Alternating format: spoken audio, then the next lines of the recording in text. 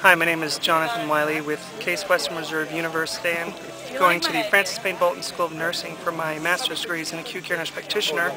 And today we're holding our annual flight camp uh, disaster drill, uh, which this year we are very fortunate that we have about 75 volunteers to participate in our disaster drill, which is a simulated earthquake with an explosion.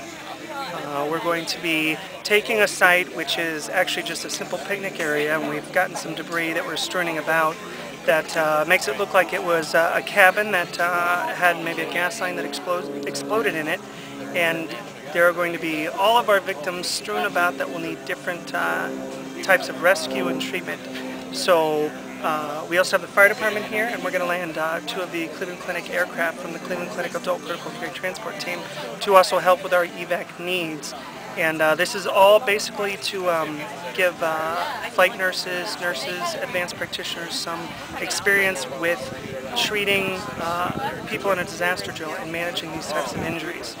Uh, and so it's all about to happen at 1.30 and um, there's going to be smoke, some uh, loud noises, and uh, lots of people running around, and lots of victims screaming about their injuries and their lost children and how sick they are. So it's going to be quite a sight. But in the end, it, it will help us all sort of learn to triage a little more effectively and manage wounds and injuries, and also evacuate people in a timely manner to uh, higher levels of care.